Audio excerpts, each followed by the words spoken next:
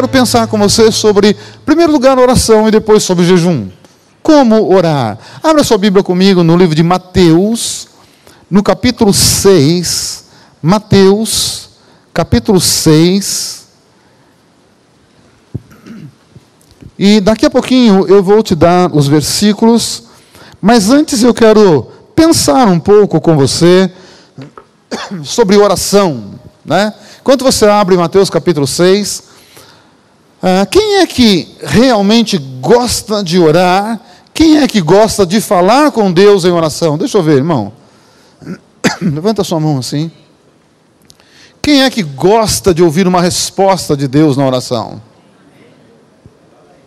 Melhor ainda. Então eu quero pensar com você sobre oração, porque olha, eu tenho pensado, né? E tenho meditado muito sobre algumas coisas com relação a nós, como um povo de Deus, a própria igreja em si. Eu não sei quantos viram, eh, eu recebi do Theo um vídeo de um pastor da Coreia, pastor da igreja do David Jung-Shu. Ele veio para um seminário aqui, se eu não me engano, na igreja coreana. Não sei quantos viram esse vídeo. E ele fala um pouco da igreja brasileira. Ele, nesse tempo que ele ficou no Brasil, ele percebeu algumas coisas. Alguém chegou a ver esse vídeo? Viu? Se você ainda não viu, eu não sei nem como procurar, porque eu recebi. Né? Mas depois eu vou tentar passar a você. Querido, é um pastor coreano e ele fala um pouquinho sobre a igreja brasileira. E como coreano, como oriental, você sabe que é, o povo oriental ele é muito, muito disciplinado, muito mesmo. E ao contrário, infelizmente, nós ocidentais, nós somos indisciplinados. E ele fala um pouco da igreja brasileira, desse tempo que ele viu aqui, que ele ficou aqui no Brasil. Irmão, eu estava ouvindo aquele homem falar, eu falei, Deus, ele está coberto de razão. E ele começou a falar, eu vou falar algumas coisinhas só, bem rapidamente, do que ele falou. E ele falou: Olha, eu tive a oportunidade de estar em algumas igrejas no Brasil, eh, ministrando. E ele falou: Gente, eu creio que quando a igreja se reúne para cultuar a Deus, e né, no, agora na minha palavra não foi a dele, quando o fogo no altar é aceso, quando o fogo no altar é aceso, quando começamos o louvor, quando alguém ora, quando alguém lê uma palavra, começa, e o livro de Malaquias diz: o fogo no altar é aceso. E quando o fogo no altar é aceso, Deus diz: Eu venho, eu me faço presente. Porque o culto é para mim, eu venho, eu não falto no culto.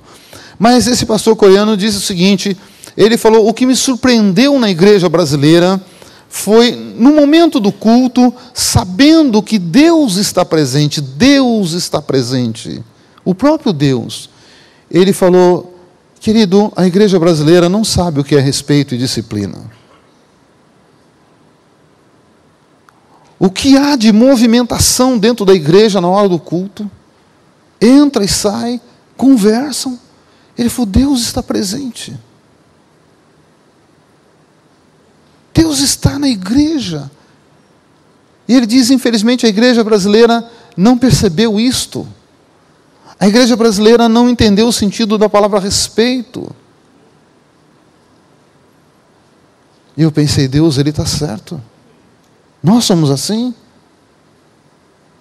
Nós somos indisciplinados, não sabemos o que é respeito. Ele diz: Eu fiquei muito, muito assustado com a falta de respeito com o horário. Ele diz: o culto começa a qualquer hora, as pessoas chegam a qualquer hora, as pessoas levantam a qualquer momento e vão embora. E ele diz: Deus está presente se a igreja brasileira não tem esse sentido? Ele diz como a igreja brasileira lida com o pecado, então. Mas deixa para lá. Vamos pensar um pouquinho sobre orar. E eu penso que aquele pastor está coberto de razão. E também penso que nós, na verdade, não nos aprofundamos para conhecer as coisas de Deus e é por isso que a Bíblia diz que sem a renovação da nossa mente, jamais vamos experimentar a boa, agradável e perfeita vontade de Deus. E eu tenho feito um exercício não sei se você já percebeu, em todos os nossos cultos, exercício da palavra de como falar e também de como pensar. Querido, todo bom atleta, ele só conquista alguma coisa se ele tiver um treinamento sério, se ele for um bom profissional. Não adianta ser um craque e um mau profissional, não adianta. Tem que ser um bom profissional, tem que ter treinamento. Então, eu quero pensar com você agora, vamos continuar fazendo um treinamento? Vamos. Estamos fazendo um treinamento de exercício da palavra. Mas eu quero fazer um treinamento de como pensar, de renovar a nossa mente. Se você quiser, se não quiser, fique à vontade. Se você quiser fazer como eu, eu ponho a minha mão na minha cabeça e vou repetir algumas coisas. Se você quiser fazer assim também, fique à vontade. Você que quer, diga assim: Pai, em nome de Jesus, eu quero, eu preciso renovar a minha mente. Eu quero pensar coisas boas e não ruins. Eu quero ter pensamentos de paz e não de guerra. Eu quero pensar em saúde, não em doença. Eu quero pensar em bênção, não em maldição. Eu quero pensar na vida e não na morte. Em nome de Jesus. Amém. Amém. Sabe por que esse exercício é precioso? Porque a Bíblia diz que assim como você imagina ou como você pensa, assim será. Deus, através do profeta Jeremias, Deus diz assim: Eu é que sei que pensamentos que eu tenho com relação a você. Eu tenho pensamentos de bem e de paz, mas para dar a você o fim que você deseja. Percebe como é importante pensar? Amém? Orar. Será que nós realmente sabemos como orar? Porque orar, querido irmão, é falar, é ou não é? Me ajuda a pregar. Orar é falar? Sim? Como eu quero orar corretamente se eu mal sei falar corretamente? Se orar é falar, como eu posso orar corretamente se eu não falo corretamente? Como assim? Querido, como pode uma pessoa, quando na segunda-feira está no trabalho, está na escola, está na rua, está em qualquer lugar, e ela fala absurdos? Fala coisas terríveis, coisas que não têm nenhum bom sentido. Como pode orar se não sabe falar? Porque a Bíblia diz que como pode da mesma boca sair palavras de bênção e de maldição? Então, se eu não sei falar corretamente, desculpe, falo tanta besteira, e eu estou aqui falando tanta bobagem, tanta bobagem, mas de repente, por uma necessidade, eu vou correr lá, eu vou ajoelhar e eu vou querer falar com Deus. Senhor, me ajuda. Não, como pode? É incoerente ou não? Como eu quero falar com Deus para os homens se eu não converso e não falo com a minha esposa?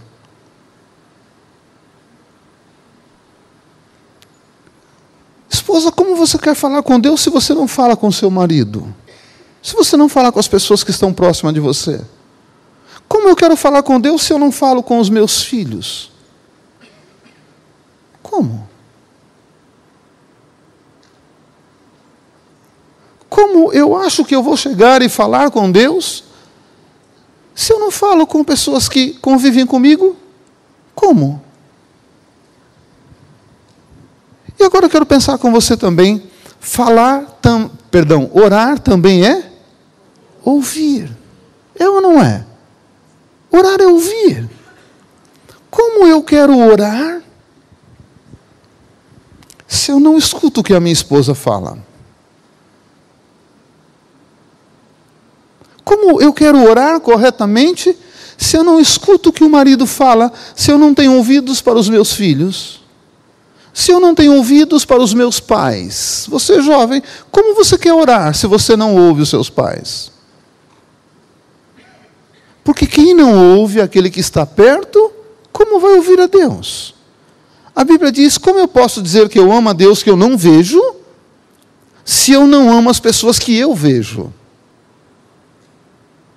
Como eu quero orar? Como?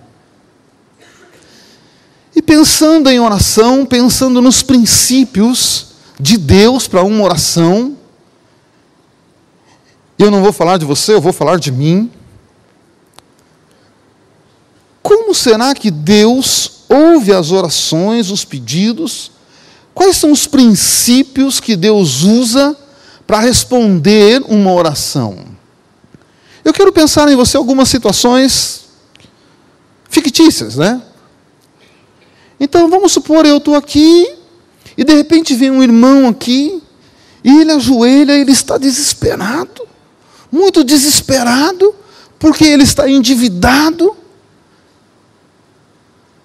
E ele está devendo muito e não sabe como saudar isso, e ele está orando, e, e a preocupação dele, a angústia dele é tão grande, ele começa a orar, e ele ora em voz alta: Oh Deus, tem misericórdia, eu estou endividado, eu, eu estou todo atrapalhado, eu preciso pagar, eu não tenho dinheiro. Deus, eu preciso que o Senhor me dê um jeito, que o Senhor me arrume 100 mil reais, de qualquer jeito, Senhor. Eu preciso pagar as minhas dívidas, eu preciso.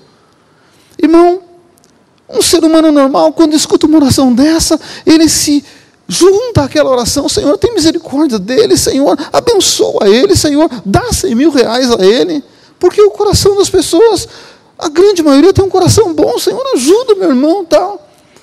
Mas, querido irmão, sinceramente, Deus não se move pelos sentimentos. Eu preciso aprender os princípios que regem uma resposta, uma atitude de Deus. Deus não é sentimental eu sou. Deus não é. Eu posso ser sentimental, meu sentimento pode variar, mas a Bíblia diz que Deus é imutável. Deus não muda. Eu vou, me compadeço daquele irmão, tal, tal. Mas, querido irmão, e Deus pode responder a oração dele? Lógico que pode, Deus é bom. Deus é bom. Deus é misericordioso. Agora eu preciso entender o que é misericórdia e o que é justiça. Se Deus permitir, na ceia de abril, eu quero pregar sobre isso, misericórdia e justiça. Porque eu percebo que eu não sei lidar com isso e eu entro em confusão e acho que Deus tem obrigação de resolver as minhas confusões, por Ele ser misericordioso. Diga comigo, misericórdia é perdão de Deus. Diga comigo, misericórdia é oportunidade de Deus. Agora eu quero dizer para você que justiça é recompensa. Isso vai ficar para depois. Não confunda as coisas. E aí eu me compadeço daquele irmão, mas no fundo eu não sei como ele entrou na dívida. E se ele entrou na dívida porque ele é um viciado em jogo? E se ele entrou na dívida porque ele não sabe administrar as coisas dele, as finanças dele? Eu não sei, mas eu me compadeço.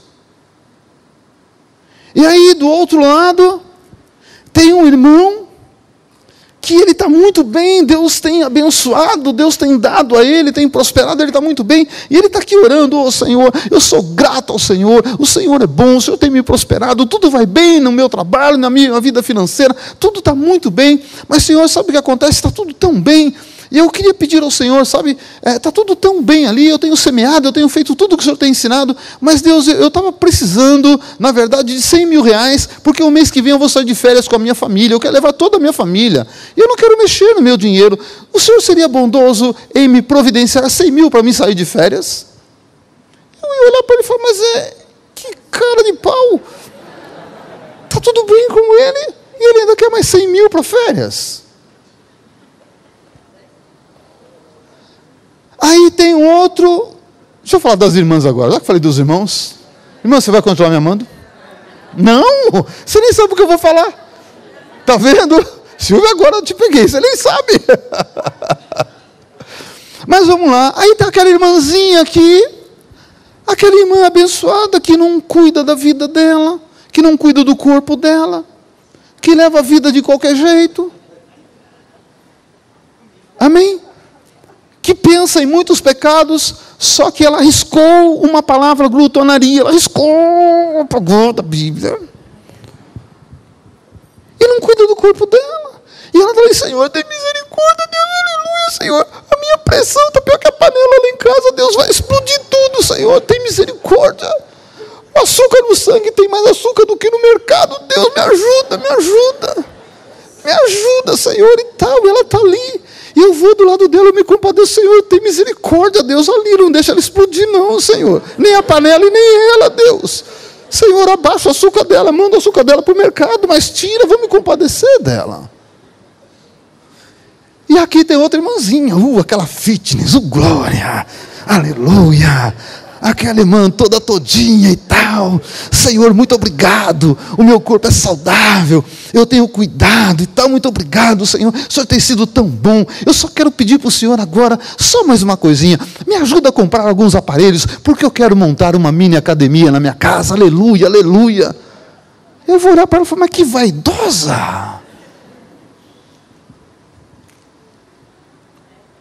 Como Deus está olhando para essas situações. Porque, querido, o meu corpo, o seu corpo é o templo do Espírito. E eu tenho que ser mordomo. Eu tenho que ser mordomo de toda a situação financeira, saúde. Qual é o princípio para Deus responder uma oração? Boa noite. Vamos entender o que é misericórdia, vamos entender o que é justiça.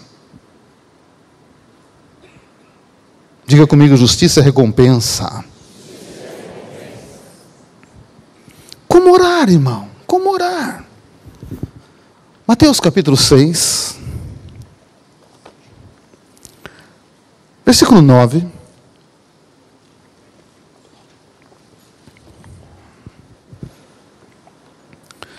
Portanto, vós orareis assim: Pai nosso que estás nos céus, santificado seja o teu nome, venha o teu reino, faça-se a tua vontade. Onde é que é para ser feita a vontade de Deus? Assim na terra, como no céu. O pão nosso de cada dia, dá-nos hoje. Perdoa as nossas dívidas, assim como nós temos perdoado aos, aos que nos devem. E não nos deixe cair em tentação mas livra-nos do mal, pois teu é o reino, o poder e a glória para sempre. Amém. Porque se perdoardes aos homens as suas ofensas, também o vosso Pai celeste vos perdoará. Se, porém, não perdoardes aos homens suas ofensas, tampouco o que acontece? O vosso Pai Pensando em oração, querido irmão, Jesus nos ensina a orar. E se Deus assim permitir, eu quero continuar pregando sobre oração. Tem muita coisa sobre oração, muitos princípios que regem uma oração e nós não sabemos. Jesus nos ensina a orar. Querido irmão, querida irmã, não importa o tamanho do seu desespero, o tamanho da sua necessidade, quando você começar a orar, o que, que Jesus diz que nós devemos fazer? Qual é o primeiro passo na nossa oração? Pai, nosso que estás? Querido, o primeiro passo numa oração é glorificar a Deus, é reconhecê-lo como Deus, porque a partir do momento que eu reconheço Deus, eu me coloco no meu lugar, eu sei quem eu sou.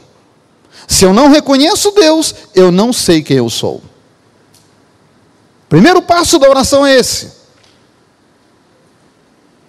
Porque o profeta diz assim: Ah, Senhor, que homem eu sou? Homem de lábios impuros, que habito no meio de um povo com lábios impuros. Ele reconhecia Deus, e a partir do momento que ele reconhece Deus, ele sabe quem ele é. Primeira coisa na sua oração, esquece o seu desespero. e coloca as coisas em ordem no seu devido lugar. Deus é Deus, está no céu, e é Deus sobre todas as coisas. Ponto. Depois de santificado seja o teu nome, qual outra coisa que ele coloca aí? Como que Jesus coloca? Venha a nós. Querido irmão, aqui é que eu penso que existe uma confusão tão grande no meio da igreja. Venha a nós o teu reino, venha a nós o teu reino, mas nós não entendemos o que é o reino. E às vezes não sabemos o que é o reino. E nós estamos pedindo, venha a nós o teu reino. Querido irmão, o reino de Deus chegou com Jesus. Já veio, já está aqui. Agora Deus precisa de mim e de você para implantar uma quantidade enorme dos princípios do reino nessa terra. Porque já está aí. E quando eu falar de justiça e de misericórdia, nós vamos falar muito disso aqui. Mas quando eu desejo o reino de Deus, eu preciso saber o que é o reino de Deus. Tem gente que pensa que o reino de Deus é um lugar cheio de nuvens, é um lugar onde eu vou ficar, desculpe o termo, zen. Não é nada disso. Não é nada disto. Domingo passado eu compartilhei um pouco com você sobre o reino de Deus, a glória do reino de Deus. Lembra disso? Quem é que estava aqui domingo passado? Lembra? Eu usei o texto que quando o profeta está falando da glória da segunda casa, e ele diz que Deus ia encher de glória a segunda casa e de paz, logo depois ele diz: Minha é a prata e meu é. O que, que tem a ver ouro e prata com a glória de Deus? Tem tudo a ver. Tudo a ver, porque tudo vem de Deus. Então a glória de Deus não é só uma coisa, uh, não, não. A glória de Deus manifesta vai trazer a nós uma condição de vida do reino. Amém? Querido irmão, eu preciso pensar muito o que estou fazendo, como estou vivendo, e eu quero fazer um alerta a você. Infelizmente, a igreja de Jesus na terra, do nosso tempo, está passando por um tempo difícil, por quê? Porque entrou um conceito errado do Evangelho da Prosperidade. Eu creio no Evangelho da Prosperidade, mas não como nós estamos vivendo hoje. Irmão, as pessoas só pensam na prosperidade. As pessoas só querem vir para a igreja pensando que vão receber de Deus alguma coisa, algum bem material. Espera um pouquinho. O maior bem que eu recebo de Deus, primeira coisa, é a minha, vida eterna, o meu nome no livro da vida. Isso é o maior bem, isso não muda. É isso que tem que ser. Esse é o primeiro princípio do Evangelho da prosperidade: serei próspero eternamente, porque vou morar com Deus eternamente. Então há um conceito errado, há um entendimento errado, e nós estamos vivendo hoje de uma forma que, infelizmente, a igreja está perdendo um pouco o seu rumo por isto. Mas nem por isso eu vou deixar que a glória de Deus tome conta da minha vida e que eu possa viver os princípios do reino aqui na terra.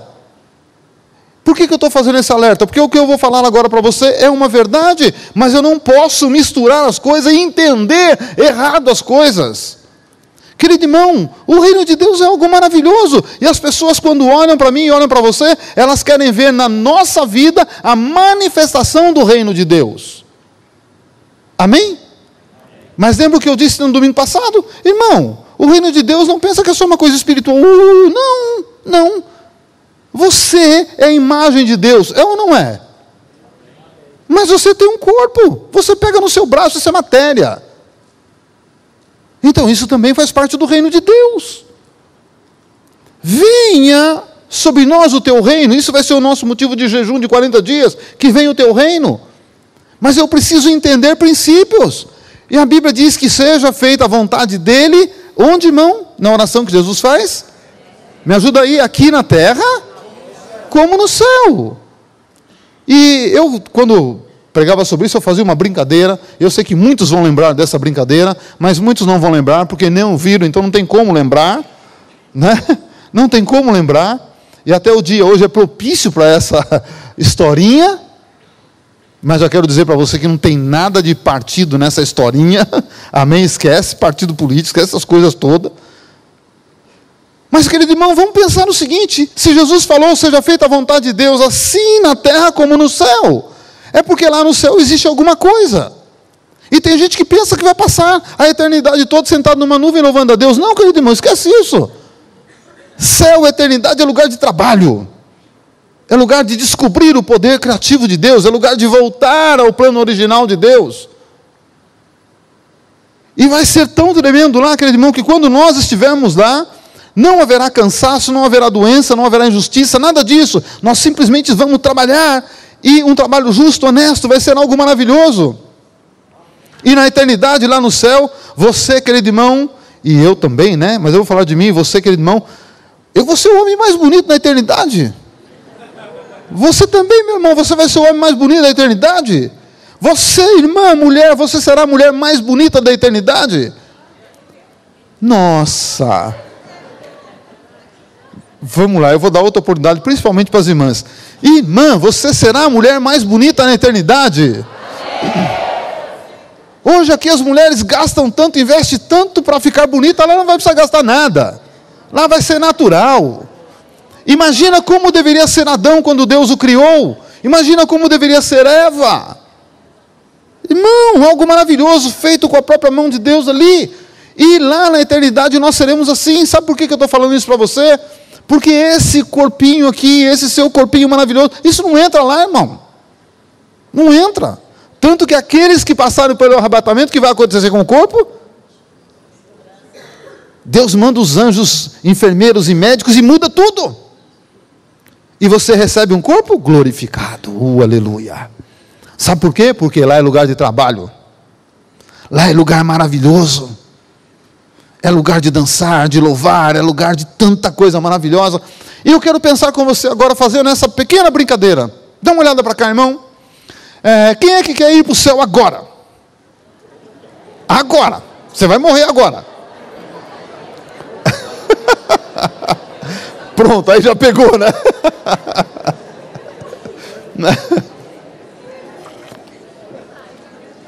Dá um tempinho, né, pastor? Dá um tempinho. É tanta coisa para fazer aqui, né? Mas vamos lá, vamos. Deixa eu pegar alguém aqui, vai. Vou pegar o Felipe. Teve uma reunião no céu e falaram do Felipe. Reunião no céu, amém? Só que convocaram o Felipe para estar lá agora. Pegou para o lado do Felipe. Aí lá vem um anjo do céu e encosta no Felipe e fala: Querido irmão, Deus está te chamando, vão comigo. Pega na mão do Felipe, vum, direto para o céu. E lá chega o Felipe e o anjo. O anjo solta o Felipe no céu e ele começa a olhar. Que lugar maravilhoso, aleluia. Estou no céu. Ah! Mas aí ele olha de um lado, tem um protesto no céu aquele monte de anjo protestando. Fora Jesus, queremos outro governo. Nada com o que aconteceu aqui hoje, irmão. E aí o Felipe, nossa, o céu é assim? Aí o anjo pega o Felipe, tira o Felipe dali para ele não ver aquela coisa. Deixa eu perguntar para você: o céu é assim? Seja feita a tua vontade? Aí o anjo pegou Felipe e começou a andar com o Felipe, mas o Felipe é curioso, regalou os olhos e lá tem uma fila. Placa do lugar, banco do céu. E aquela fila de anjo. Eu quero tirar minha poupança, eu quero tirar meu dinheiro, porque o banco do céu quebrou, faliu. E aí passa um outro anjo e encosta no Felipe. Ô oh, Felipe, eu vi que você veio da terra. Lá está tudo bem, a economia está bem, o Brasil está tudo bem. Empresta mil para mim. O céu é assim? Seja feita? Alguma coisa está errada. Será que a oração de Jesus está errada? Aí o anjo pega o Felipe, você não pode ver essas coisas, e desvia o Felipe, mas o Felipe virou o olho e ele viu uma fila enorme. Anjo com asa quebrada, com o pé quebrado, na fila do SUS do céu. E estava muito cheio, só um hospital estava funcionando. O outro lá, eles roubaram o dinheiro, não tinha equipamento, o hospital estava fechado. Lá no outro começaram a fazer o hospital, mas não terminaram. Contrataram uns anjos médicos do outro céu, mas eles. Você que pensou, não fui eu que falei.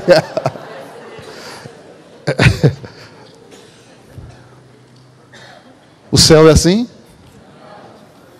Pai, seja feita a tua vontade. Querido irmão, alguma coisa está errada e não é no céu. Alguma coisa está errada e não são nos princípios do reino. Eu penso que o erro está nos filhos de Deus, que não entenderam os princípios do reino. E por não entendermos os princípios do reino, não temos condições de viver os princípios do reino.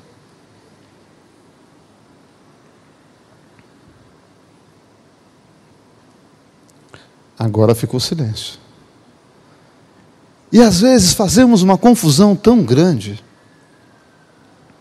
E às vezes espiritualizamos coisas que não é para espiritualizar. E às vezes não espiritualizamos coisas que é para espiritualizar. Nós estamos confusos.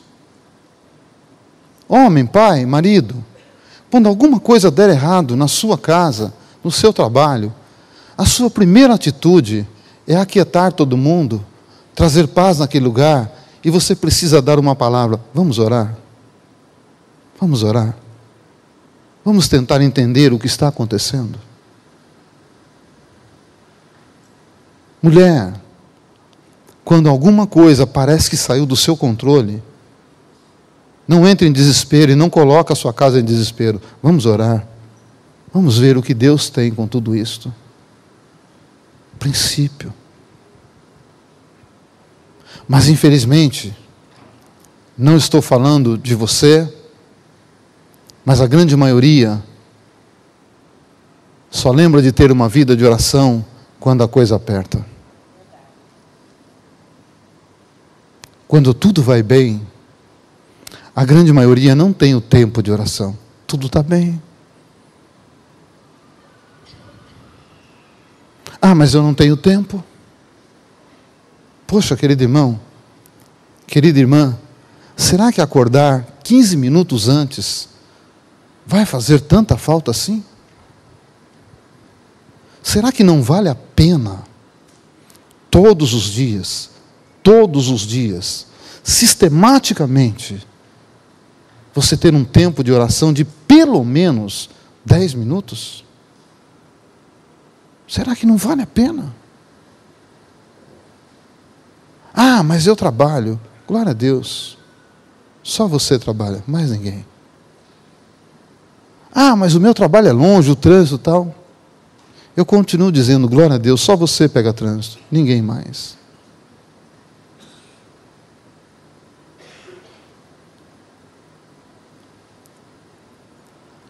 Eu preciso entender princípios de oração. Uma das coisas que Jesus fala, e nós veremos isso um outro dia. Puxa, vocês não conseguem vigiar comigo uma hora? Vocês não conseguem orar comigo uma hora? Você quer ver um dos cultos, estou falando agora em termos de igrejas, igrejas, por esse Brasil afora, você quer saber um dos cultos onde tem menos gente? Culto de oração.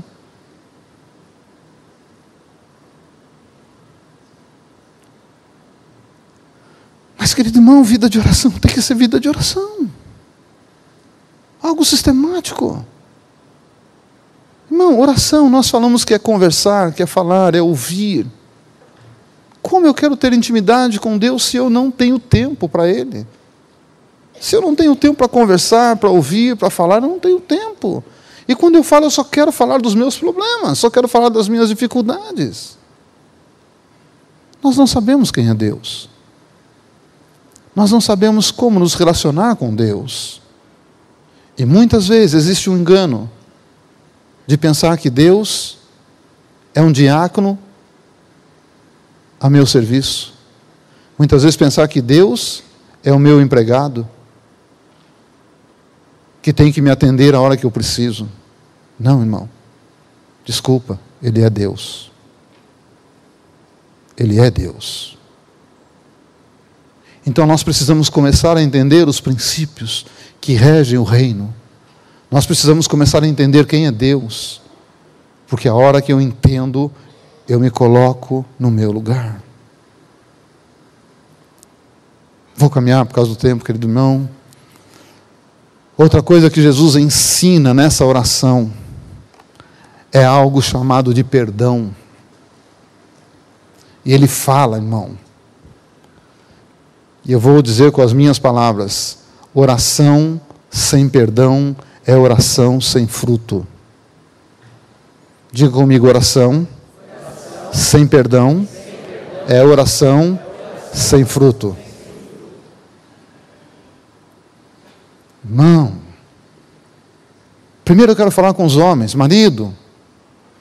Apóstolo Pedro escreve algo tão precioso. Ele diz assim: Olha, marido, se você não está bem com a sua esposa, se você está de mal da sua esposa, Deus não ouve a sua oração. Tem muito homem orando à toa. Vou repetir. Tem muito homem orando à toa. Porque se você não estiver bem com a sua esposa, nem ora porque Deus não ouve. E quando eu não consigo perdoar, Jesus, foi Jesus quem falou, irmão. Foi Jesus quem falou isto. Ele disse: Você não perdoa, o meu Pai não te perdoa.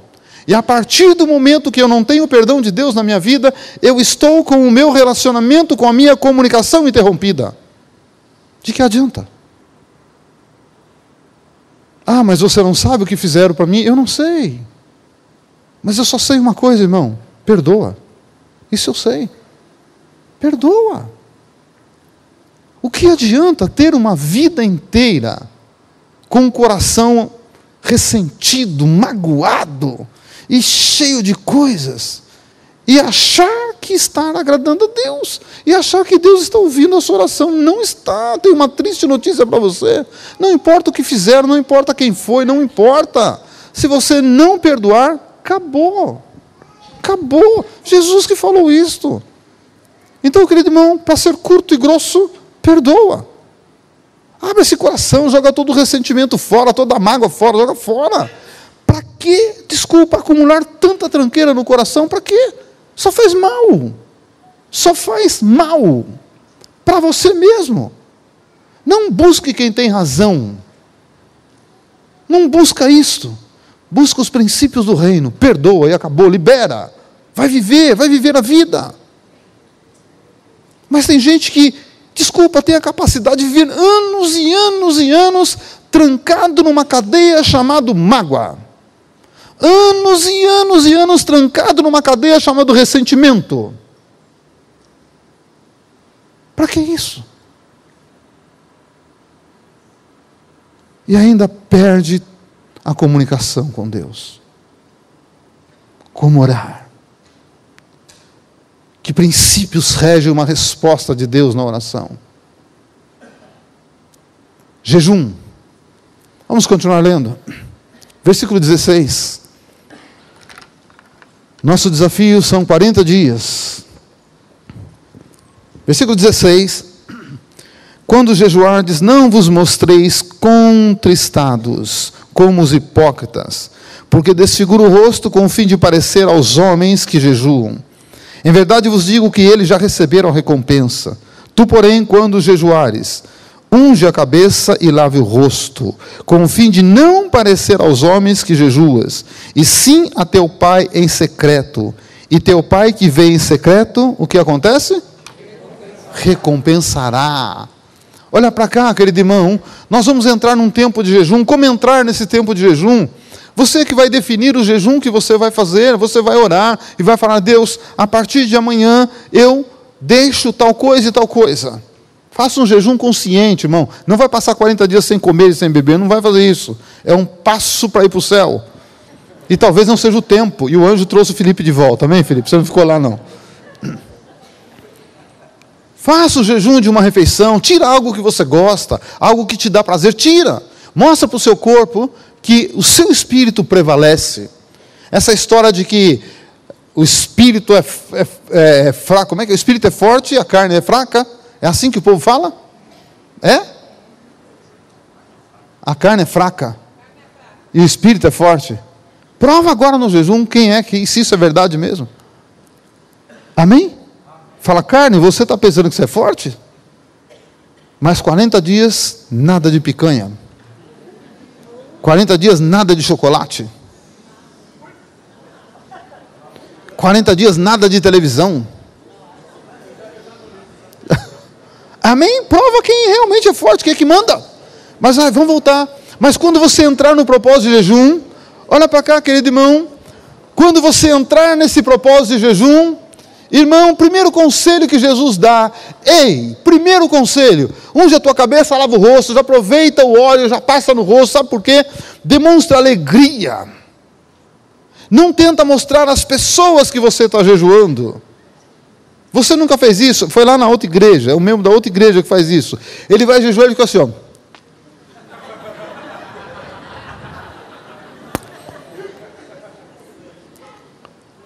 Ah, eu estou jejuando. Estou tão fraquinho, mas eu estou jejuando. Aleluia, Deus vai me abençoar. Aleluia. Para, irmão.